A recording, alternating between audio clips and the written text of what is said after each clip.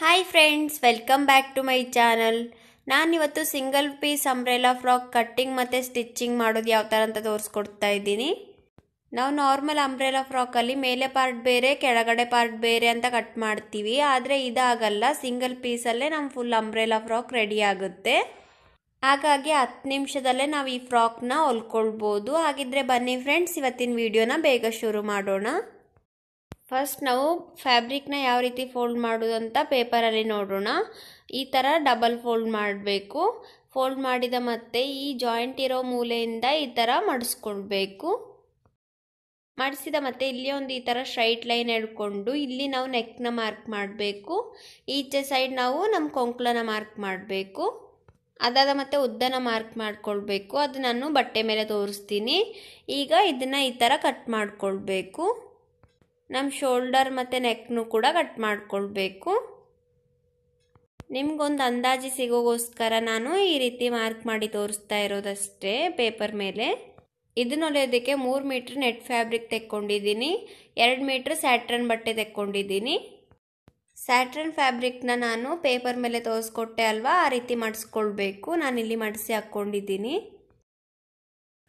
First ನಾನು ಈ ಮೂಲೆಯಿಂದ ಕೆಳಗಡೆಗೆ ಒಂಬತ್ತು ಇಂಚ್ ಆಗೋಷ್ಟು ಉದ್ದನ ಮಾರ್ಕ್ ಮಾಡ್ತಾ ಇದ್ದೀನಿ. ಅದೇ ರೀತಿ ಈ ಸೈಡ್ ಕೂಡ ಮಾಡಿಕೊಳ್ಬೇಕು. ಈಗ ಇದನ್ನು ಈ ಥರ ಸ್ಟ್ರೈಟ್ ಲೈನ್ನ ಎಳ್ಕೊಳ್ಳೋಣ. ಈಗ ನಾನು ಕೊರಳಿನ ಅಗಲನ ಮಾರ್ಕ್ ಮಾಡ್ತಾ ಇದ್ದೀನಿ, ಎರಡೂವರೆ ಇಂಚ್ ಆಗೋಷ್ಟು. ನಾನಿಲ್ಲಿ ಬೋಟ್ ನೆಕ್ ಡಿಸೈನ್ ಮಾಡೋಗೋಸ್ಕರ ಅರ್ಧ ಇಂಚು ಜಾಸ್ತಿ ಮಾರ್ಕ್ ಮಾಡ್ಕೊಂಡಿದ್ದೀನಿ ಶೋಲ್ಡರ್ನ ಉದ್ದ ನಾನಿಲ್ಲಿ ಐದು ಇಂಚನ್ನ ಮಾರ್ಕ್ ಮಾಡ್ಕೊಳ್ತಾ ಇದ್ದೀನಿ. ಇದನ್ನು ನಾವೀಗ ಈ ಥರ ಸ್ಟ್ರೈಟ್ ಲೈನ್ನ ಎಳ್ಕೊಳ್ಳೋಣ ಇದ್ರ ಮೇಲೆ ನೀವು ಎರಡು ಸೈಡು ಕೂಡ ಉದ್ದನ ಮಾರ್ಕ್ ಮಾಡ್ಕೊಳ್ಬೇಕಾಗುತ್ತೆ. ಯಾಕಂದರೆ ಇದು ಸ್ವಲ್ಪ ಕ್ರಾಸ್ ಆಗಿರುತ್ತಲ್ವ ಆದ ಕಾರಣ. ಈಗ ಕೆಳಗಡೆ ಕೂಡ ಸ್ಟ್ರೈಟ್ ಲೈನ್ನ ಎಳ್ಕೊಳ್ಳೋಣ ಈಗ ನಾನು ನೆಕ್ಕಿನ ಡ್ರಾ ಮಾಡ್ತಾ ಇದ್ದೀನಿ. ಇದನ್ನು ನಾವು ರೌಂಡಾಗಿ ಡ್ರಾ ಮಾಡಬಾರ್ದು. ಸ್ವಲ್ಪ ಈ ಥರ ಡ್ರಾ ಮಾಡಿಕೊಳ್ಬೇಕು. ಈಗ ಶೋಲ್ಡರಿನ ಅಗಲನ ಮಾರ್ಕ್ ಮಾಡ್ತಾ ಇದ್ದೀನಿ, ಮೂರುವರೆ ಇಂಚು. ಕೆಳಗಡೆಯಿಂದ ಕೂಡ ಮೂರುವರೆ ಇಂಚಿನ ಮಾರ್ಕ್ ಮಾಡಿಕೊಂಡು ಇದನ್ನು ಸ್ಟ್ರೈಟ್ ಲೈನ್ನ ಎಳ್ಕೊಳ್ಬೇಕು. ಇದನ್ನು ಕೆಳಗಡೆ ಈಗ ಅಡ್ಡ ಲೈನ್ನ ಎಳ್ಕೊಂಡು ಆ ಮೂಲೆಯಿಂದ ಮೇಲೆ ಒಂದು ಇಂಚಿನ ಮಾರ್ಕ್ ಮಾಡಿ ಇದನ್ನು ರೌಂಡ್ ಮಾರ್ಕ್ ಮಾಡಿಕೊಳ್ಬೇಕು. ಈಗ ನಾವು ನಮ್ಮ ಚೆಸ್ಟಿನ ಅಳತೆನ ಮಾರ್ಕ್ ಮಾಡಿಕೊಳ್ಬೇಕು ಎಷ್ಟು ಅಳತೆ ಇರುತ್ತೋ ಅದಕ್ಕೆ ಒಂದೂವರೆ ಇಂಚಿನ ಪ್ಲಸ್ ಮಾಡಿ ಮಾರ್ಕ್ ಮಾಡಿಕೊಳ್ಬೇಕು. ಇಲ್ಲಿಂದ ಕೆಳಗಡೆಗೆ ಆರು ಇಂಚಿನ ಮಾರ್ಕ್ ಮಾಡ್ಕೊಳ್ಳಿ. ನಮ್ಮ ಡ್ರೆಸ್ಸಿನ ಶೇಪ್ ಮಾರ್ಕ್ ಮಾಡ್ತಾ ಇರೋದಿದು ಅಲ್ಲಿ ಎಷ್ಟು ಅಳತೆ ಇರುತ್ತೋ ಅದಕ್ಕೂ ಕೂಡ ಒಂದೂವರೆ ಇಂಚಿನ ಆ್ಯಡ್ ಮಾಡಿ ಮಾರ್ಕ್ ಮಾಡಿಕೊಳ್ಬೇಕು. ಇದನ್ನು ಅಳತೆ ಟಾಪಲ್ಲಿ ಯಾವ ರೀತಿ ಅಳತೆ ಮಾಡ್ಕೊಳ್ಳೋದು ಅಂತ ನಾನು ನನ್ನ ಚೂಡಿದಾರ್ ವಿಡಿಯೋದಲ್ಲಿ ಆಲ್ರೆಡಿ ತೋರಿಸ್ಕೊಟ್ಟಿದ್ದೀನಿ ಆ ವಿಡಿಯೋ ಲಿಂಕ್ನ ನಾನು ಡಿಸ್ಕ್ರಿಪ್ಷನ್ ಬಾಕ್ಸಲ್ಲಿ ಕೊಟ್ಟಿರ್ತೀನಿ. ನಿಮ್ಗೆ ಇದು ಅರ್ಥ ಆಗದೇ ಇದ್ದರೆ ನೀವು ಆ ವಿಡಿಯೋ ಚೆಕ್ ಮಾಡ್ಕೊಳ್ಬೋದು. ಈಗ ಈ ಎರಡನ್ನು ಕೂಡ ಈ ರೀತಿ ಮಾರ್ಕ್ ಮಾಡಿಕೊಳ್ಬೇಕು. ನಾವು ನಮ್ಮ ಕೊರಳಿನ ಮಾರ್ಕ್ ಮಾಡಿದ್ದೀವಲ್ವ? ಆ ಮೂಲೆಯಿಂದ ಕೆಳಗಡೆವರೆಗೂ ಎಷ್ಟು ಉದ್ದ ಬೇಕು ಅಂತ ಈ ರೀತಿ ಮಾರ್ಕ್ ಮಾಡ್ಕೊಳ್ಬೇಕು. ಮಾರ್ಕಿಂಗ್ ಟೇಪ್ನ ಅಲ್ಲೇ ಇಟ್ಟು ಕೆಳಗಡೆ ಮಾತ್ರ ಈ ಥರ ಸರಿಸಿ ಸರಿಸಿ ಮಾರ್ಕ್ ಮಾಡಿಕೊಳ್ಬೇಕು. ನಿಮ್ಗೆ ಎಷ್ಟು ಉದ್ದ ಬೇಕೋ ಅದಕ್ಕೆ ಒಂದು ಇಂಚಿನ ಪ್ಲಸ್ ಮಾಡಿ ನೀವು ಮಾರ್ಕ್ ಮಾಡಿಕೊಳ್ಬೇಕಾಗುತ್ತೆ. ನಾವಿಲ್ಲಿ ಡಾಟ್ ಡಾಟ್ ಆಗಿ ಮಾರ್ಕ್ ಮಾಡಿರ್ತೀವಲ್ವ, ಅದನ್ನ ಈ ಥರ ಜಾಯಿಂಟ್ ಮಾಡಿಕೊಳ್ಬೇಕು.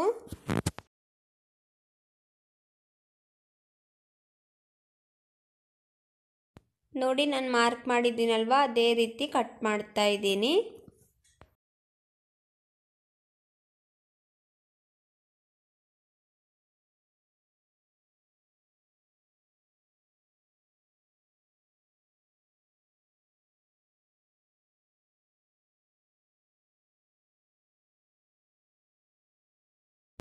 ಈ ರೀತಿ ಕೆಳಗಡೆ ಕಟ್ ಮಾಡಿದ ಮತ್ತೆ ಈ ಮೇಲೆ ಸ್ಟ್ರೈಟ್ ಲೈನ್ ಇರುತ್ತಲ್ವ? ಇದನ್ನು ಕೂಡ ಕಟ್ ಮಾಡಿಕೊಳ್ಬೇಕು. ಈಗ ನಾನು ಈ ರೀತಿ ಮಾರ್ಕ್ ಮಾಡ್ತಾ ಇದ್ದೀನಿ ಈ ಕೊನೆಗೆ. ನಾವಿಲ್ಲಿ ಶೇಪ್ ಹತ್ರ ಮಾರ್ಕ್ ಮಾಡಿದ್ವಲ್ವ? ಅಲ್ಲಿ ತುಂಬ ಅಳತೆ ಕಡಿಮೆ ಇದ್ದರೆ ತುಂಬ ಅಗಲ ಇಡೋಕೆ ಹೋಗಬೇಡಿ ಈ ಫ್ರಾಕ್ನ ದಪ್ಪ ಇರೋರಿಗೆ ಈ ಫ್ರಾಕ್ನ ಅಗಲ ಇಟ್ಟರೆ ಚೆನ್ನಾಗಿ ಕಾಣುತ್ತೆ. ತುಂಬ ತೆಳ್ಳಗಿದ್ದರೆ ಈ ಫ್ರಾಕ್ ತುಂಬ ಅಗಲ ಇಡೋದ್ರಿಂದ ಎಳೆದಾಗುತ್ತೆ ಆದ ಕಾರಣ. ನೋಡಿ ನಾನಿಲ್ಲಿ ಮಾರ್ಕ್ ಮಾಡ್ಕೊಂಡಿದ್ದೀನಿ. ಇದನ್ನು ನಾವೀಗ ಕಟ್ ಮಾಡ್ಕೊಳ್ಳೋಣ. ನಾವು ಮಾರ್ಕ್ ಮಾಡಿರ್ತೀವಲ್ವ? ಅದೇ ರೀತಿ ಕಟ್ ಮಾಡ್ಕೊಳ್ಬೇಕು. ಇದರಲ್ಲಿ ಮಾರ್ಕ್ ಅಷ್ಟು ಚೆನ್ನಾಗಿ ಕಾಣ್ತಾ ಇಲ್ಲ.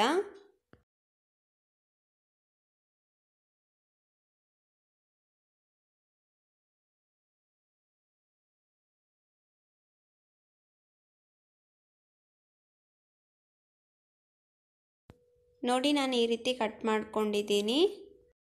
ನಮ್ಮ ನೆಟ್ಟಿನ ಬಟ್ಟೆ ಇದೆಯಲ್ವ? ಇದರಲ್ಲಿ ನಾವು ನಮ್ಮ ಸ್ಲೀವ್ಸಿಗೆ ಎಷ್ಟು ಬೇಕೋ ಅಷ್ಟು ತೆಕ್ಕೊಂಡು ನಾವು ಪೇಪರಲ್ಲಿ ಯಾವ ರೀತಿ ಮಾಡಿಸ್ಕೊಂಡಿದ್ವೋ ಅದೇ ರೀತಿ ಇದರಲ್ಲೂ ಕೂಡ ಮಾಡಿಸ್ಕೊಳ್ಬೇಕು.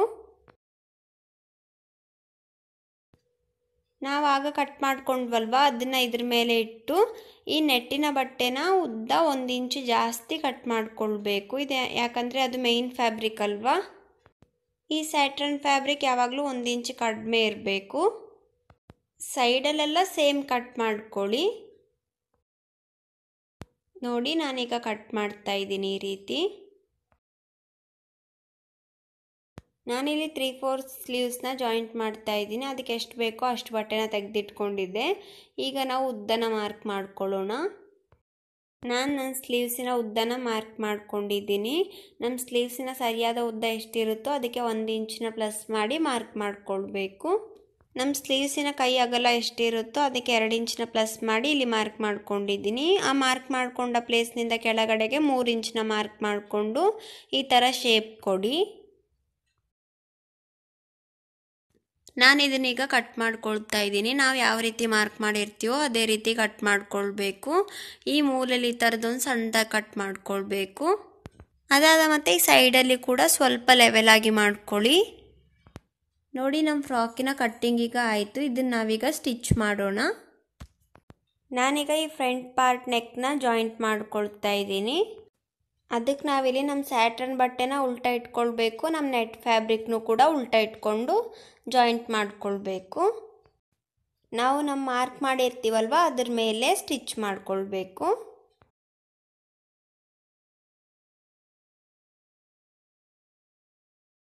ನೋಡಿ ನಾವು ಸ್ಟಿಚ್ ಮಾಡಿದ್ದೀವಲ್ವ, ಇದನ್ನು ನಾವೀಗ ಕಟ್ ಮಾಡ್ಕೊಳ್ಳೋಣ. ಕಾಲು ಇಂಚಾಗೋಷ್ಟು ಬಿಟ್ಟು ನೆಕ್ನ ಕಟ್ ಮಾಡ್ಕೊಳ್ಬೇಕು, ಈ ಥರ ರೌಂಡಾಗಿ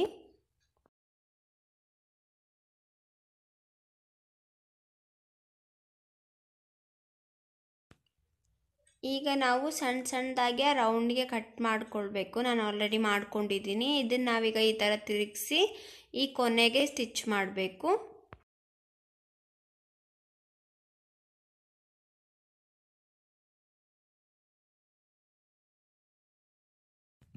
ನೋಡಿ, ನಾನಿಲ್ಲಿ ಬ್ಯಾಕ್ ಪಾರ್ಟ್ನು ಕೂಡ ಅದೇ ರೀತಿ ಸ್ಟಿಚ್ ಮಾಡ್ಕೊಂಡಿದ್ದೀನಿ. ಇದನ್ನು ಕೂಡ ತಿರುಗಿಸಿ ಅಲ್ಲಿ ಕೊನೆಗೆ ಸ್ಟಿಚ್ ಮಾಡಿಕೊಳ್ಬೇಕು.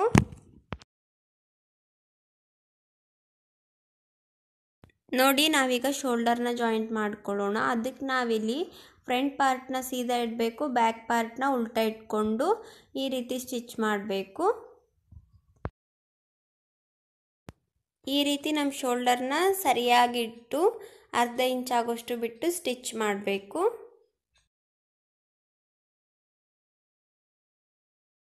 ನೋಡಿ, ನಾನಿಲ್ಲಿ ಈ ರೀತಿ ಹೊಲ್ಕೊಂಡಿದ್ದೀನಿ. ಈಗ ನಾವು ನಮ್ಮ ಕೊರಳಿಗೆ ಇನ್ನೊಂದು ಹೊಲಿಗೆನ ಹಾಕ್ಕೊಳ್ಳೋಣ. ಅದಕ್ಕೋಸ್ಕರ ನಾವು ಮಿಷಿನ್ನ ಈ ಥರ ಒಂದು ಶೋಲ್ಡರ್ ಮೇಲೆ ಇಟ್ಟು ಈ ರೀತಿ ಕಾಲಿಂಚಾಗೋಷ್ಟು ಬಿಟ್ಟು ಸ್ಟಿಚ್ ಮಾಡ್ಕೊಂಡು ಹೋಗಬೇಕು.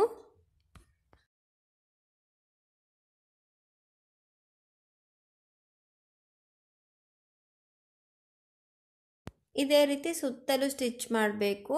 ನಮ್ಮ ಈ ಸ್ಟಿಚ್ಚಿಂಗ್ ನಾವು ಎಲ್ಲಿ ಶುರು ಮಾಡಿರ್ತೀವೋ ಅಲ್ಲಿಗೆ ಎಂಡ್ ಆಗಬೇಕು.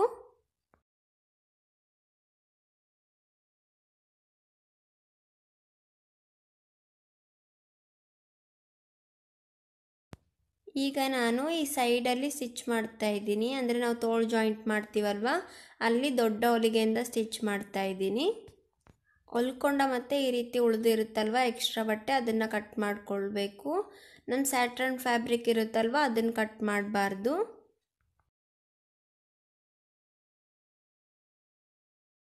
ಈಗ ನಾನು ನನ್ನ ಸ್ಲೀವ್ಸ್ನ ಜಾಯಿಂಟ್ ಮಾಡ್ತೀನಿ. ಆಗ ನಾನು ಸಣ್ಣದಾಗಿ ಒಂದು ಕಟ್ ಮಾಡಿದ್ದೆ ಅಲ್ವಾ? ಅದನ್ನು ಶೋಲ್ಡರ್ನ ಮಧ್ಯದಲ್ಲಿ ಇಟ್ಟು ಈ ರೀತಿ ಸ್ಟಿಚ್ ಮಾಡಿಕೊಳ್ಬೇಕು.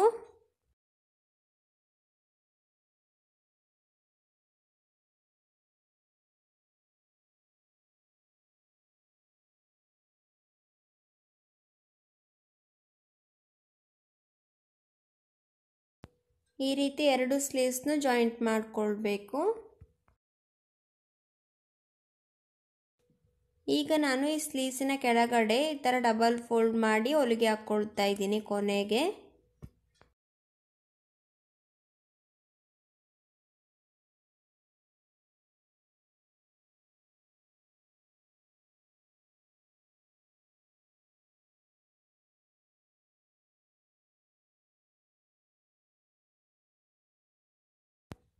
ಕೆಳಗಡೆಗೆ ನಮ್ಮ ಲೈನಿಂಗ್ ಇರುತ್ತಲ್ವ, ಅದನ್ನು ಕೂಡ ಈ ಥರ ಡಬಲ್ ಫೋಲ್ಡ್ ಮಾಡಿ ನಾನು ಸ್ಟಿಚ್ ಮಾಡ್ತಾ ಇದ್ದೀನಿ ಈ ಥರ ಕೊನೆಗೆ.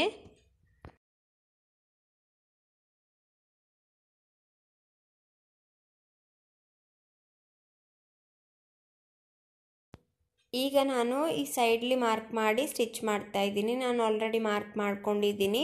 ಇದನ್ನು ನಾನು ಸ್ಟಿಚ್ ಮಾಡ್ತಾ ಇದ್ದೀನಿ. ನಿಮ್ಮ ಅಳತೆ ಟಾಪ್ನ ನೋಡಿ ಅಳತೆ ಮಾಡಿಕೊಂಡು ಇದನ್ನು ಸ್ಟಿಚ್ ಮಾಡಿಕೊಳ್ಬೇಕು. ನಿಮಗೆ ಸೈಡ್ ಅಳತೆ ಮಾಡೋದು ಯಾವ ರೀತಿ ಅಂತ ಗೊತ್ತಿಲ್ಲದೆ ಇದ್ದರೆ ನಾನು ಮೊದಲೇ ತೋರಿಸ್ಕೊಟ್ಟಿರುವ ವಿಡಿಯೋನ ಡಿಸ್ಕ್ರಿಪ್ಷನ್ ಬಾಕ್ಸಲ್ಲಿ ಹಾಕಿರ್ತೀನಿ. ನೀವು ಚೆಕ್ ಮಾಡ್ಕೊಳ್ಬೋದು.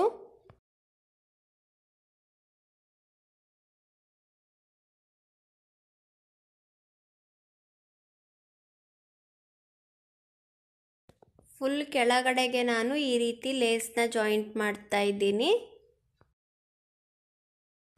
ನೋಡಿ ಫ್ರೆಂಡ್ಸ್ ಸಿಂಗಲ್ ಪೀಸ್ ಅಂಬ್ರೆಲಾ ಫ್ರಾಕಿನ ಫೈನಲ್ ಲುಕ್ ಈ ರೀತಿ ಕಾಣುತ್ತೆ. ಇವತ್ತಿನ ವಿಡಿಯೋ ನಿಮ್ಗೆ ಯೂಸ್ಫುಲ್ ಆಗಿದೆ ಅಂತ ಭಾವಿಸ್ತೀನಿ. ಯೂಸ್ಫುಲ್ ಆಗಿದ್ದರೆ ಪ್ಲೀಸ್ ಲೈಕ್ ಮಾಡಿ ಮತ್ತು ನನ್ನ ಚಾನಲ್ಗೆ ಸಬ್ಸ್ಕ್ರೈಬ್ ಆಗಿ. ಏನೇ ಡೌಟ್ ಇದ್ದರೂ ಕೂಡ ಕಮೆಂಟ್ ಸೆಕ್ಷನಲ್ಲಿ ಕಮೆಂಟ್ ಮಾಡಿ ತಿಳಿಸಿ. ಮುಂದಿನ ವಿಡಿಯೋದಲ್ಲಿ ಮತ್ತೆ ಸಿಗೋಣ friends thank you for watching